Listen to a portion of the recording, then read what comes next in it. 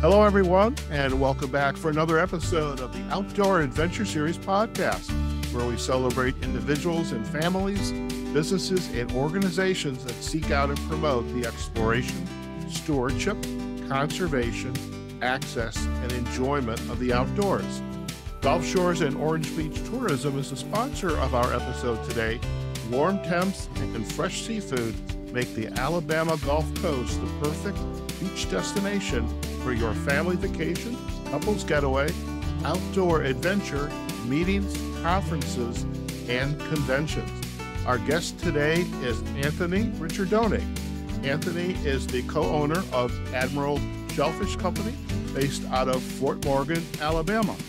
Admiral raises and harvests prime oysters grown in South Alabama. Anthony, it's a pleasure to have you on the Outdoor Adventure Series podcast. Welcome. Thanks, man. Good afternoon. Appreciate you talking about some delicious Alabama seafood with us. Oh my God. Let me tell you, when Easton Colvin from Gulf Shores and Orange Beach Tourism said, Howard, I got one lined up for you. How do you feel about oysters?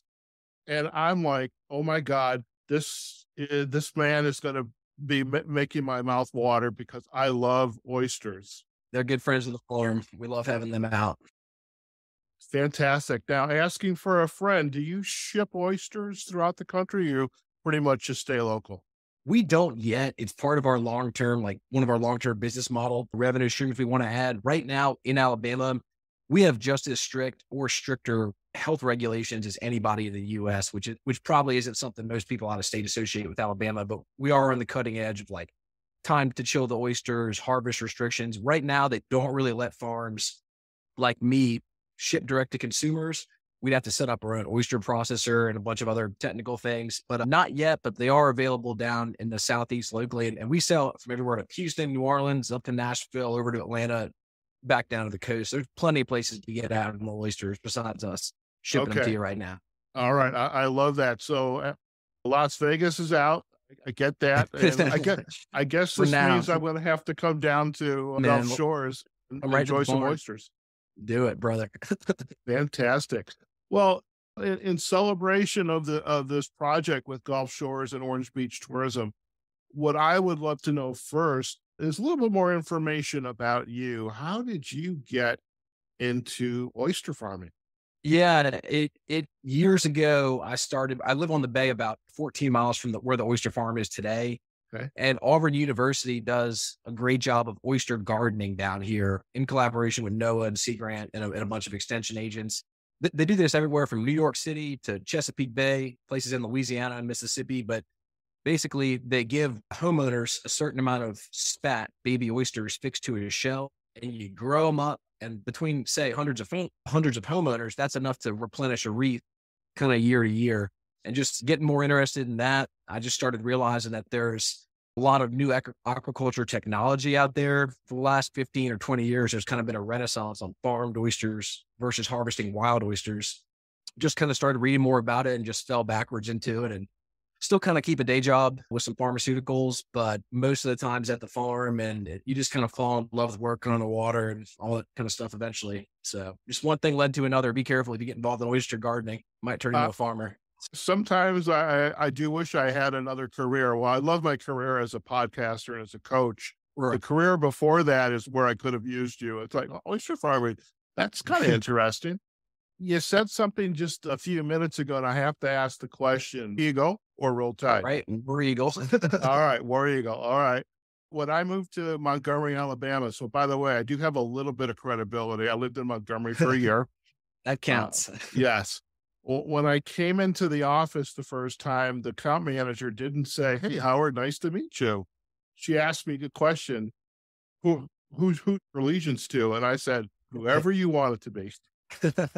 that's that's a convenient way to answer. I mean, obviously, Bama, Saban have been pretty dominant last decade or so, but Auburn's had their wins as well. That's all I'm going to say about that. There you go. There you go. So mm. I'm curious, how has wild oysters and I imagine they've been harvested for a long time because once we realize, well, we can eat these mollusks, they're, do I have that you, name right? You do. Mollusks, they're, they're bivalves within the mollusk occasion. Okay. When did the commercial view of raising oysters. When did that start to kind of take hold? E- even in going back to first written history around here in millennia before native peoples, people have always been harvesting oysters. And okay. There's some really good books out there, not to shout out anyone at anyone else's expense, but like the big oyster, kind of about the, the New York City and, and the Blue Point area harvesting. Over time, obviously, we started depleting the natural reefs. And people realized that to go back and enhance those reefs, kind of the first beginnings of aquaculture, even in colonial, maybe early 19th century, 1800 times, people knew that, hey, we collect spat, like these larvae when oyster breed that get in the water and a little baby oyster will cement onto something and grow into a seed that we call oyster spat.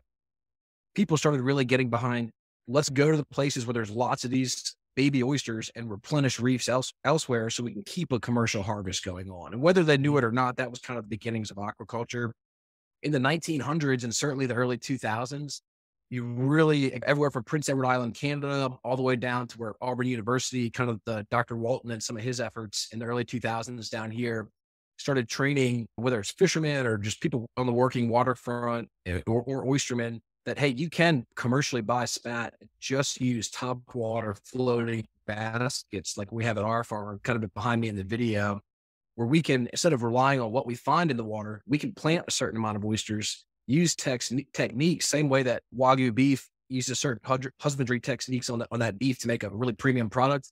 Mm-hmm. We can develop our own practices and modify the oyster as opposed to just going out and fishing for it. And that's, that's what we focus on today at Admiral Shellfish. Okay. Now, when I was visiting the Admiral Shellfish company's website, and I did do a little bit of homework beforehand, you you market yourselves as a premium purveyor of oysters. And yes, sir. So, question What does a premium oyster look like?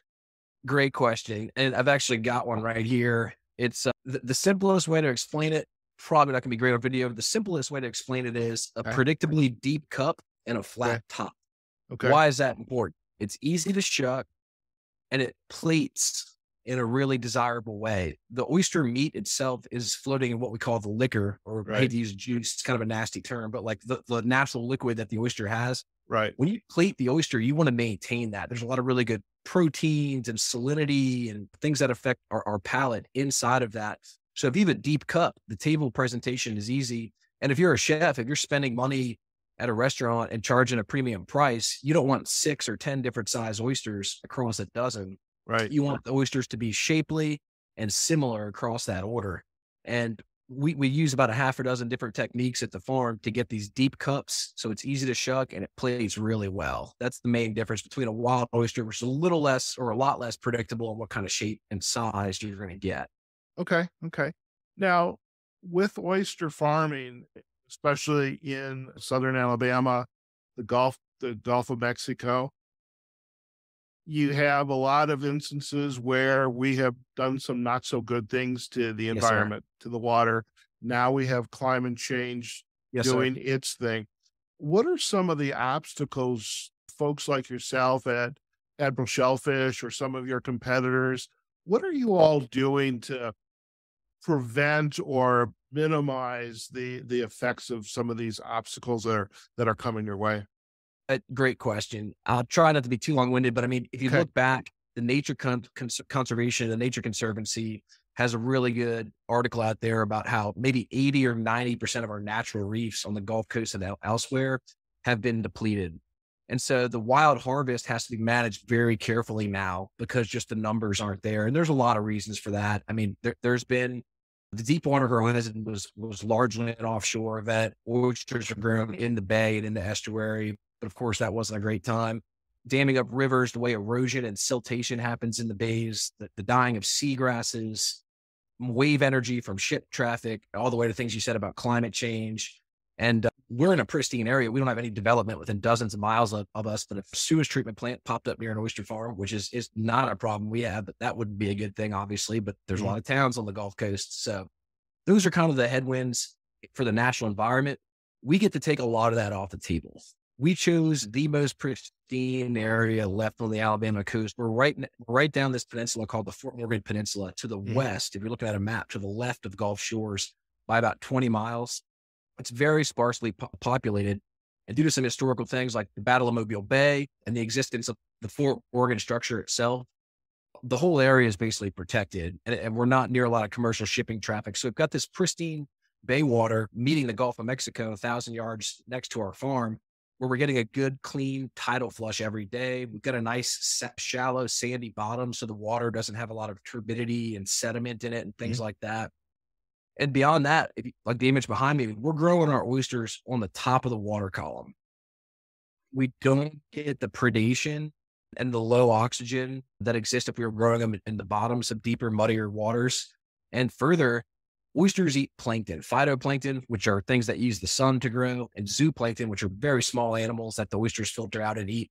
The top of the water column is a great place for our oysters to catch those those things. So they're real happy because they get to eat they get a lot of wave energy, which chips them up, causing that deeper cup. And every week or two, we're flipping these cages over so the oysters are sitting in the sun and we're that close to the sunlight on the top. So we can use that to burn off things like algae and barnacles. So that when a chef orders a case of these things, yeah, of course they go through a processor, but they get a nice clean shell without fouling and stinky stuff like algae clinging onto the shell. So okay. we kind of took the best things that oysters evolved and what they wanted and just gave them gave it to them in the most concentrated way using some of these aquaculture technologies that we have available to us today. Okay. You mentioned the word predation, and I'm curious mm-hmm. because I've seen photos, say in the the Pacific Northwest, Northeast. Yeah. It's an animal. I want to say it's a beaver. Could be wrong. Knocking sure. two shells otters. together. What's yep. otters? That's it. What are the who are the predators to the yep. the oyster. We do have otters down here in coast Alabama. They're not okay. very common. They're a little farther up in like the freshwater areas, not so okay. much near us, but we we did see one actually a few weeks ago. Joe, okay. our amazing farm manager, actually spotted one. But no, big, big picture at the Admiral Shellfish Farm, and speaking for most of the Gulf Coast farmers, an oyster drill, which is a, it looks like a snail. Mm-hmm. Hermit crabs don't make a shell, right? Hermit crabs are going to go find a snail shell or various other types of shells to use. Oyster drills have a little tool that they stick out called a proboscis where that they can use an acid to melt a hole in the shell, liquefy mm-hmm. the oyster and drink it out. Well, that's no good for us, obviously. Okay. But when the oysters are on top in these cages, knock on wood, they can't really get after them just as easily. Some other really common predators down here if the oysters are very young and the shells are brittle because they're just younger and not as thick, stone crabs and blue crabs can actually break that shell and consume the oyster. Certain types of drum, like we get some huge redfish down here. I mean, bull reds, black drums, certain types of skates that look like stingrays, basically cow rays. Right. They've got these two bony plates on their mouth. They can come in and crunch up the oysters. And uh, I know that in other, in other areas, other ecosystems, there's types of birds. I don't really think that's an issue down here. I might be wrong about that, but those are kind of predators. Various fish, crabs, of course, otters could do it. Different skates and rays, things like that. Okay. But uh, when they're in a bag inside of a cage, they don't really have access to our oysters, so we can right. we can leave them for the real predator, the humans, to come eat whenever we want to harvest them. I, am so. all for that. I'm all for that. but just just just want to give credit where credit's due for the the predators because it's all part of one big exactly. cycle of life. So it, exactly. that's the way things go. I want to go back to the the, to the sustainability aspect, not so much about, well, I would imagine organization companies like Admiral Shellfish Company, you are you active in a, like an association or of yeah. other shellfish growers that that advocate for certain things to happen in management and, and sustainability? Big time, man. It's, I mean, it's a privilege to be able to use the water. I mean, technically the seabed belongs to the people of the state of Alabama. So we actually have kind of a, a lease from those folks to be able to even use it. So when you put a when you put an adult oyster in the water, besides sequestering carbon and some other things that you know, when the oysters filter in the water, they're not consuming everything. They're kind of like us. They'll excrete some waste products. Mm-hmm. So they're filtering about 50 gallons of water a day. So you, you wow. put a million oysters in the water, you start talking 50, 50 million gallons a day, and do the math on the rest of the year. We're having a really positive impact on the bay with water quality, controlling wave action, erosion, those sorts of things. But in terms of the groups down here, Oyster South is amazing. They really help just gather all the farmers down here, everything from the East Coast, you know, North Carolina down to Florida, all the way to Texas on the Gulf Coast, gathering us together, having one concerted message around everything from climate change just to you name it, just educating people that hey, this isn't a bad thing to have in your backyard. It's not. It's not exactly like a fish processing plant, and not that that's a bad thing either necessarily. But it's it's something that where we almost have no net impact on the environment. We have a negative like eh, like extraction impact where we're taking bad stuff out of the environment. Like we're not going and harvesting oysters from a wild reef and depleting it. We're taking spat from a lab, growing those oysters out and producing an effect on the on the bay, the estuary that wouldn't have happened without us. And Oyster South's a great resource for that. There's an East Coast Shellfish Growers Association that's actually kind of has started a branch on the Gulf Coast, but it's, it's getting back in gear right now through some effort to some good folks. It's going to be the Gulf Coast Shellfish Growers. Um, Auburn University Marine Sciences, Sea Grant with NOAA. We, are actually hosting an Auburn University project on our farms, those pilings that we have out on our site, where they're they're trying to research how to get wild spawns uh, back going, as well as how can we increase densities of oysters in aquaculture to get more of these positive effects we're talking about going. I mean, if we're farming six acres, we could double our density. Talking about those millions of gallons, it can have a big effect scaled across North America. So we we, we we're run up against researchers every week, and we like it because you know you don't want to be the smartest guy in the room, so to speak. So it's nice having some of these folks out there that can lend us a scientific view on if we're observing something funky going on at the farm. So it kind of works for everybody. Sure. Now you've got the scientists, you have the the schools, you have the visitors, uh, which I will, unless something extraordinary happens, I will be down there in September. So I will let you know that. Yeah, man. What can the public, the residents, the people who are living in these communities around you, around the farms, what are some of the things they can do, or perhaps what are they doing to help support companies like yours and this commercial oyster farming? Yeah, great question, man. I mean, buy local seafood. I mean, not to get preachy, but we don't need to be sending a truck from Canada down here to buy a dozen oysters. Ask your chefs, ask your oyster bars, where are these things coming from? And hey, there's 20 oyster farms in Alabama. Why don't y'all carry a few of those? We create a lot of jobs down here and have a lot of positive effects on the bay. Take a tour of an oyster farm. If you have access to the waterfront, look into the Auburn University Oyster Gardening Project, get involved with growing oysters on your own dock, learning about the biology and helping rebuild the reefs. Get out there and work with some of our local charter captains. You'll probably wind up fishing some hard bottom or fishing on some oyster farms. There, there's a number of things you can do, but you know, everything from just being a consumer and asking for local seafood all the way to getting directly involved with with helping by being an oyster gardener or just getting out there and fishing our reefs and learning why it is such a big resource. Okay. Sounds like a plan. And I, I love that there's what you just shared, there's many avenues for people to get involved local. And and I do agree. Why should we bring be bringing something down from Canada when it can all be harvested right locally? I, I love that. Oh, I am curious, your oysters. How do you prefer to uh, consume these wonderful I don't know what I, yeah. I was trying to be cute on this question, but I, am totally flubbing it up. But how do you prefer to eat your oyster? Man, I'm not a purist. Like I know it's kind of like wines. You'll get people up there say, "Oh, you can only have it this way. Don't put ice in it." I mean, I love a raw oyster as much as anybody. Yeah. I also love them cooked. I mean, yeah. throwing them on the grill, keeping it simple, just some butter, garlic, some parmesan. There's a million recipes out there. Like people that a lot of times away from the coast might have a gumbo that might not have any seafood in it. Try yeah. a gumbo with uh, that. There's an oyster stout. The Admiral Shellfish Company collaborated with Big Beach Brewing in Gulf Shores, Alabama. Uh, this Friday, February 3rd, okay. we're releasing an oyster stout that we brewed. There, there's a million recipes out there from oyster stuffings and stews. Excuse me, all the way to uh, baking things. There's a lot of recipes for like oyster breads that go back to colonial times, even. So I'm not a purist by any means. Raw oysters are great. Get yourself a nice cold beverage with it, but don't be afraid to just Google some oyster recipes out there. I love it. It's funny. Uh, so I live here in Las Vegas. I've been here yeah. going on three years now. And I was kind of joking on Facebook, asking for a friend, looking for a place to live. And Kay, my friend from Gulf Shores and Orange Beach Tourism, chimed in, Howard, check out Mobile. And I'm like, okay and one of the reasons I would love the area is I'm a foodie. I and I love oysters, and awesome. I would love to have them any which way you can provide those. But just the food that's that's really na- native to the, the South right. is just unbelievable. So, uh, speaking of Gulf Shores and Orange Beach tourism, what types of activities do you coordinate with them because they're they're trying to attract people like me, the organizations that I am a member of, right. to come down and just experience the best of the Gulf Coast and Gulf Shores. How are you interacting with them to not only promote your work, but also to give folks, the visitors, a taste of what it's like to to come down and visit?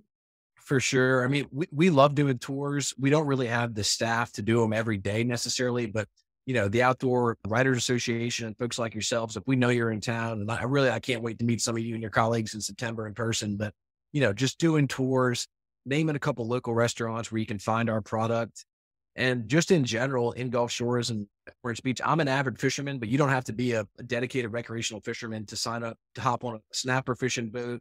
Taking dolphin tours down here, there are so there's dozens and dozens of miles of hiking trails that the state of Alabama has set up on the beach and some of the kind of inshore coastal environments and things. There's a ton of indoor activities to do here, everything from whatever people like to do, golf simulators, movies, but this is an outdoor paradise down here. Yeah. And you could you could eat two or three square meals a day and still want to be going back for more. So uh, just a ton to do down here. I love it. And I, I'm actually hoping to get down there for a few more days before the conference and stay after just to take it all in. So I'm definitely yeah. looking forward to it. You mentioned you know you didn't have the staff to do a lot of the activities. So I but I am curious about you're not a one man operation. So tell us a little no. bit more about your staff. Absolutely. So Joe Ingram's our forward manager. Wouldn't trade him for the world. He's got really, really deep aquaculture and uh, management and just biology and general experience him and I are kind of the, the full time core. My partner Chris is actively involved. We, we have a awesome marketing lady who helps us out. Social media is kind of unavoidable these days to get the right. word out. You can you can have the best thing in the world, but if nobody hears about it, where those consumers are looking for that that item, it's just going to be you enjoying it. And we have a great part time crew that kind of comes in and out. Uh, a bunch of folks down here that have all kinds of backgrounds. Some of them work on the water with the, they have jobs with the state. Some are uh, with local produce farms some folks are just kind of here seasonally, but we, a couple days a week, we'll have the big crew out there. A lot of days, it's just two of us out there and making deliveries and things like that. But we are capable of doing tours. So if someone's in town, they can go to our website, admiralshellfishcompany.com, and just kind of send an email like, hey, Thursday we're around. Can we stop by for an hour at noon? They can download a Weaver right there unfortunately, I feel like a lot of times I'm telling people it's not a good weather day, and we're not doing that to avoid anybody. But it's Alabama. Yeah, they say if you don't like the weather, wait 15 minutes, it'll change. We don't want to bring people out here before we not winds and oh yeah, fun stuff. So, so and I, and I love that. It just it's amazing. Some organizations rely on a, on a much bigger team. You've got people across the entire supply chain of this organization, right. but it sounds like yours is kind of lean and mean but you it also is. have the the benefits of some of the educational and government organizations who are coming down for the purpose of studying and working to get, gather data for what their research is. So exactly. And I guess too, one of the things that occurs to me as the years go by, it's we're literally just the farmer. I mean, we have there's dedicated facilities that grow the seed, and there's dedicated processors and distributors that move the product. Mm-hmm. And it's not like we're not capable of doing some of those things as time goes on and we, and we get more and more staff like we're getting, but it's kind of like pick one thing to be great at. I mean, we, we, like just focusing on the farming and making the best possible product and letting else somebody be great at, hey, that last mile trucking or processing the oysters or what have you. So we kind of choose to be just lean and mean farmers all the way. I, I love that. I came to Vegas from Chicago and in both places there was a mesquite grilled chicken vendor. Nice. And all they did was chicken and they did it right. And I love yep. that. You, some people try to be eh, something for everybody. And there's, but there's a lot to be said for focusing on what you do well and do exactly. it and do it great. I so just love I, it. I love that. Now let's talk a little bit about some of the nice places these these wonderful oysters of yours are showing up. Where where can folks who are coming down to South Alabama, where can they pick up these oysters? Yep. We get a lot of people ask us, can I buy them retail? Can I just take a, a sack home and shuck them? And we'll talk about shucking a little more later, I'm sure. Okay. But if they're looking to just buy a, a dozen or a case of a hundred, whatever it is, Ahi Seafood and Fairhope and Bon Secour Fisheries has a, have a seafood market that we work closely with. Okay. But restaurants, I mean, are really what we focus on. It, it, drives most of our sales and just the the scale that we're at as a farm. Right. Um, and I hate to forget anybody, but if you're down in the Gulf Shores, Orange Beach area, Voyagers at the Perdido Resort, Jesse's, some of the restaurants at the Wharf, which is a great place to go. Even if the weather's bad, there's a lot of indoor activities at the Wharf you can do. Red and White and Mobile. I know I'm forgetting a bunch of places like Pearl and Hope Farm and Fairhope. And then certainly out of state. I mean, and it's funny using processors and distributors. Occasionally, a chef will order our product and we won't even know it. Like we just met a great crew at Le Chat Noir in New Orleans, which is they just won the fine dining restaurant of the year award down there in their in their second or third year of operation. And they're new friends of the farm. So we we get to meet a cool new chef every day. But it's a little harder for us to tell somebody in Houston or maybe Nashville where to go. But certainly down here, those restaurants I mentioned will be a good place to check for us. I love that. Well, we're going to provide as many of the backlinks to those restaurants and awesome. any of the other links that you have highlighted during this conversation. We'll have those on our show notes. And I'm curious, besides the, the restaurants, besides the, the resorts, and you go to the, the, the stores, how about the whole festival season? Because yeah, I can gosh. imagine there's lots of festivals down in, in South Alabama, Gulf Shores, Orange Beach area. Absolutely. COVID definitely threw a wrench in one of the kind of established oyster festivals that had been happening. Mm-hmm. Murder Point, and uh, we, we talked we talked about the word competitor earlier. All, all the farms down here, I, I, think about us more as colleagues, and that's not right. just fluff. I mean, th- there's enough demand out there where rising tide lifts all boats. So we do collaborate with each other. I love that quote, by the way. That's like one of yeah. my favorite quotes. we I don't wish any ill upon any other oyster farmer. This is hard enough without without, without us trying to undercut each other. But Lane, Zirlott, the owner at Murder Point had a festival that they did this past fall that was really successful called Experience the Oyster. And I hope they do it again in November of 23. Chuck Wilson, one of the owners at Navy Cove, is doing a festival on February 24th of this year. I guess that's about three weeks from now. It's going to be called the Fort Morgan Oyster Festival. That, that's something in real time. If people want to get interested in, they can come join. And we're hoping to see a lot more. Like I said, COVID really threw a, threw a wrench in some of that. And there's so much logistics with, with raw seafood compared to just like a, a sausage festival or something, for example. Sure. That a few of these things, there's a lot of talk about people wanting to get them started again, but those are the two that I hope to see again this year. The Fort Morgan Oyster Festival on February 24th is definitely a go. People can Google that and get tickets now. And then hopefully the experience the oyster again, that Murder Point Oyster Farm, they're a big really, really good farm down here as well. They should be doing that again this fall, hopefully. So very good. Well, we're going to, again, we're going to provide as much of the uh, content in our links and our show notes with the links to some of these events. Hopefully we'll get that one up. It's going to be in a couple of weeks that we should be able to, since it's the start of our podcasting season. So I, I'm curious, as you look back on your Anthony, any surprises, any like, wow, Don't don't quit your day job. Yeah. don't quit your day job right off the bat. I mean, I, I, think we've got 20 or 24 legally licensed farms in Alabama. Alabama's got a 55 mile long coastline east to west and a lot of bays, river side of that. But I mean, out of those farms, I'd say maybe 13 or 15 of us uh, sell consistently and at a commercial scale. But it's tough. I mean, it, you're not going to start an oyster farm and be profitable right away. And you can't get into something like this but, but because you love money and, and profits alone. Like you've really got to enjoy working in the water, whether it's sunny or cold or windy or whatever it is. But I get, I guess I didn't anticipate. I mean, it sounds a little naive, but years ago we thought we kind of had our, our minds wrapped around everything Mother Nature could throw at us, the H word, hurricanes, all the way down to kind of floods and stuff. But this past year, unfortunately, in April, starting around April 7th of 2022, the bay started to get really fresh. And that's not a surprise. The, I mean, the rivers have been cresting here for thousands of years between March and May, and we know it's coming. But something something occurred last year where the temperature spiked and the salinity went down. Maybe there was some low oxygen. It's kind of hard to say. There was a bit of a redfish kill some sometime around then. Mm-hmm. It's really hard to say what was going on in the bay at a large level, but we had a huge die off, and all of our colleagues at the other farms did too, outside of a couple really uniquely placed farm. And we learned an important lesson there because you develop all these relationships with chefs and distributors and it kind of breaks your heart when they're putting in an order and you just say, man, I, I just don't have it. So we kind of had to start some of those accounts back from scratch. And that was an important lesson where instead of having a 10 or 20% buffer, maybe shoot for like a 30 or 40% buffer. And if you have more product than you can sell, well, that's that's not as bad as having the other way, less sure. supply and more demand. So that that was a tough lesson for me as recently as last year when I started thinking we had a little bit of it figured out, but apparently not. so I'm curious. You, you talked about having this buffer. How do you create this buffer? I mean, to ensure that there's still yeah. the the freshness.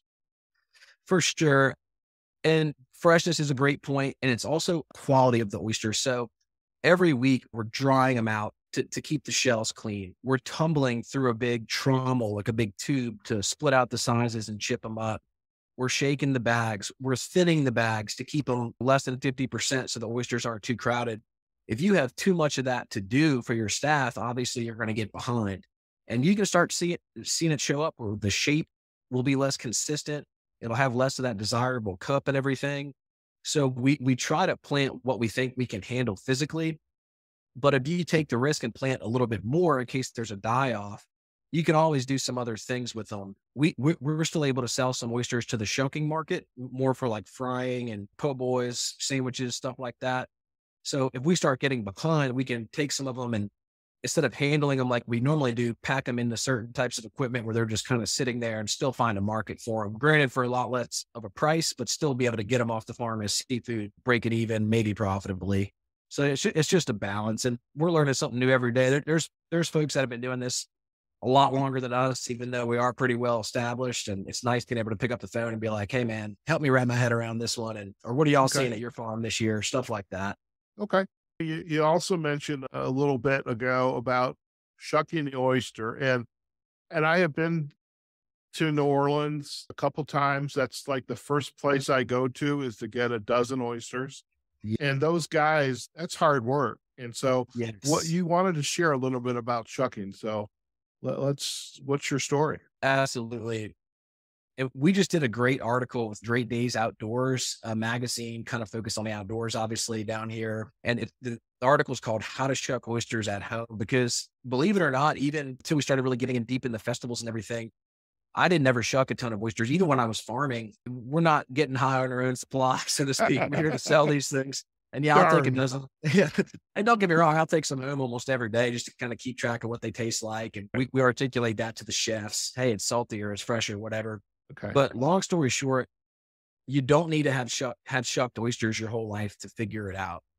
You, you need to get a, a glove, preferably a chainmail glove, certainly a glove and a rag so you can stay safe and you're not getting cut by the lip. But if you just take your time and realize that you're not trying to break into the oyster, you're trying to get on that hinge and use it like a key to pop open that hinge and then remove the muscles that are holding the oyster in place and give it a flit you can watch a few YouTube videos, have never shucked oysters before, and do a pretty good job at your next house party or reception or whatever it is, just enjoying them on a Sunday, whatever it is.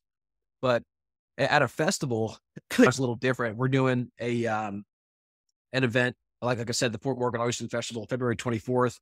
It's going to be me and my crew shucking then. And you'll see a bunch of different numbers. A good oyster shucker every hour can shuck a couple hundred, maybe maybe three or four hundred. And I, I can't do anywhere close to that. But over the course of two or three or four hours, you're going to get worn out. So we can kind of back into okay, at the last festival, we shucked a thousand oysters with four guys in four hours back into our hourly rate and try to get some more help there just so people aren't going home with carpal tunnel. And w- what you don't want to do is scramble the meat because, you know, the meat, it's got fat, protein, and glycogen, kind of the same right. thing all animals are made of, right? To an extent, along with water and minerals, what have you. But if you if you puncture that oyster, not only does it not look visually appealing, it'll look pretty nasty if it's all scrambled up, but it can actually affect affect the flavor and how long it can sit on the ice and things like that. So shucking, besides keeping yourself shape safe, there's a lot of technique to it where you have to understand the shape of the oyster and how to get the presentation going. But luckily with YouTube and some of the articles, like I mentioned, you can kind of look like a pro after your first couple dozen these days if you just take your time. I don't right. like people having to be intimidated by because you're right. I remember I, I, was actually born in New Orleans, grew up in Slidell across the lake, and yeah. you see some of these ladies and guys shucking there, just banging them out wild oysters. Their arms are bowed up from doing that for years and years, and and that's great. And there's a real skill set there. But I don't like people getting intimidated by that either. Like you can do it at home and just take your time and, and have fun with it. Though. Sounds good. I do have one of a couple requests. First one is if you share the link to that article, we'll put that up on our show notes as well. We also have a link to from Yellowhammer that I found, and yeah, we'll have have that up. Yeah. And uh, another question is when we come down for the tour at the at the the company location, are we going to have a oyster shucking demonstration? Are you going to put us through that? Yeah, you can count on it, man. we'll uh, seriously, we've got we we've we've acquired some shuckers over the year for obvious reasons over the years, just some festivals and just our crew showing people how to do it. So it's something fun to do where we all kind of sit there and do it together, enjoy a beverage and just take our time with it. And, and you can see, I mean, I hate to say how easy it is, but if you just take it slow, and I love wild oysters. I'll never say anything bad about wild oysters, but th- they can be unpredictable. If you have a yeah. five inch oyster that the hinge is shaped one way, your, your next oyster shaped differently, you'll feel like you can't get in a rhythm. Right. Ours had that deep cup and a flat top, and you can kind of figure out that, like, whoa, like what I just did, I can actually replicate again for the next oyster and get into a little bit of a rhythm because we're so consistent with our oyster shape. I love that. A couple of conferences ago, and I, and actually, I think we do at every conference. I'm like, I'm not doing this we have this push up contest. Okay. there's a bunch of old guys, and I'm an older guy, and, and there's even the women. And it's actually the the ex president of the of the association has been the winner of the push up contest. Oh man, tells, which tells you something. But I, I have a feeling we're going to have a shucking contest. So okay, let's do it. let's do that. I love yeah. So any insights that you would like to leave uh, with our listeners before we head out today? One thing that I, I, wish more people knew about is every people are familiar with terroir with wine. You can okay. have two vineyards in old Europe on, on one side of the Rhine River, and because of the minerals and, and the rainfall and which side of the hill and which way the sun's facing and all that solar energy, people understand that wines can vary greatly. And oysters are the same way. When you just order a, a dozen oysters and you want to just get some food in your belly and have a beer. Hey, I grew up doing that. There's nothing wrong with that either. But if you have the chance to go to an oyster bar and grab grab two from some Alabama farms, a, a few of us, grab a couple from the Northeast, grab a couple from Canada. The West Coast has incredible products.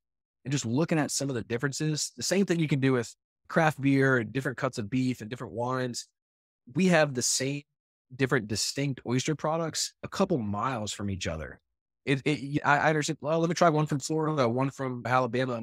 The way the coastline is shaped and the way the tidal rivers around us affect the salinity and the turbidity of the water.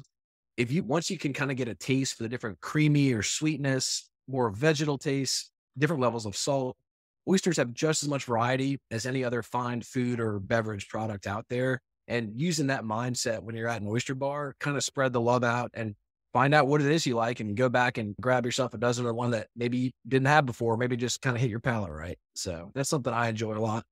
Very good. I have a feeling that I am never going to look uh, or consume an oyster in the same way again. So I want to thank you for that. That is actually a marvelous gift, Anthony. I appreciate it. And by the way, there's my last ask for you is you've got this wonderful image of the farm behind you. I'd yeah. love to have a half a dozen or or close to a dozen photos that we can use in our show notes because that'll got it. also highlight some of the great work that, that you're doing. So appreciate that. Yes, Before we head out, if our listeners would like to learn more about you and your work, where are the best places for them to go? Absolutely. So I'm I'm not a huge social media person. I know a lot of people that read outdoor magazines might be in the same boat, but the, the best way to kind of follow our adventure day to day, whether it's the crazy sea life we're running into or just some of the operations or the, the insane weather stuff that we run into, our Instagram handle is at Admiral Shellfish Co. And every week or a couple times a week, we'll try to post something just interesting that we see, or maybe a festival we're doing, or a new piece of equipment, or hey, maybe just something we broke that week, which happens a good bit too. And besides that, we we work with Great Days Outdoors and podcasters like yourself. If you just Google Admiral Shellfish, we've half a dozen or a dozen articles on everything from some of our conservation efforts and we have one coming out now that's just what are the health benefits of oysters? What, what is it about an oyster from omega 3s to trace elements like selenium that make it a good food product? So just Googling or any of your preferred search engines for Admiral Shellfish and to really put yourself visually with us, it, it's our Instagram account. We we try to keep people in the loop on there. Fantastic. Well, we're going to provide a backlink to the website, admiralshellfishcompany.com, as well as to the uh, page Admiral Shellfish uh, Co. And I did start following you today, so I'm looking forward to getting to know more about you prior to my my trip. And uh, I, I love that. Anthony, it's been a pleasure to have you on the Outdoor Adventure Series podcast. And so really appreciative of the great folks from Gulf Shores and Orange Beach Tourism to introduce us. And really, thank you so much for spending time with us. Thank you, man. This has been a blast. And if I could talk about oysters all day, just just give me a shout. So I love it. I could I could talk about and eat food all day. So that's probably a good match here and there. Uh, listen, stay on the line. We're going to do a quick close and you and I can have a final chat. Okay. Yes, sir. Fantastic. All right, folks, we have just been chatting with Anthony Ricciardone from Admiral Shellfish Company. What a wonderful conversation. As I was sharing with my roommate, I am about to learn more about shellfish and oysters than ever have in my life. I just cannot wait to get down to the Gulf Shores and really just indulge and learn more about oysters and consume them, whether it's fresh or grilled or baked however we do it, I'm gonna I'm gonna be there. I may even share some pictures on my social sites. We really appreciate Anthony taking time out of his busy day. As he had shared, he's a farmer. This is hard work, but you know these these oysters, these farms, they're giving so much back to not only the community which they serve, but they are also getting back to the environment. I mean, these wonderful valves, they are filtering the bad stuff out of the out of the water and really helping to our enjoyment of, of the outdoors that much better. Now, again, go out to Anthony's website for Admiral uh, Shellfish Company at admiralshellfishcompany.com, as well as on LinkedIn, Admiral Shellfish Co. And you can find us on the Outdoor Adventure Series.com website. We are also on Facebook and on LinkedIn, Outdoor Adventure Series and you can find us wherever podcast directory you listen to your podcast. Just search for Outdoor Adventure Series and this episode. Thank you again to Gulf Shores and Orange Beach Tourism for sponsoring this episode of the Outdoor Adventure Series and introducing us to Anthony and the Admiral Shellfish Company. To begin planning your beach vacation, getaway, or outing, visit the Gulf Shores and Orange Beach Tourism website at gulfshores.com, and we're going to provide backlinks to it as well. Okay, folks, wherever you are, whatever you're doing, go out there, have a phenomenal day, and we will see you on a future episode of the Outdoor Adventure Series podcast. Take care now.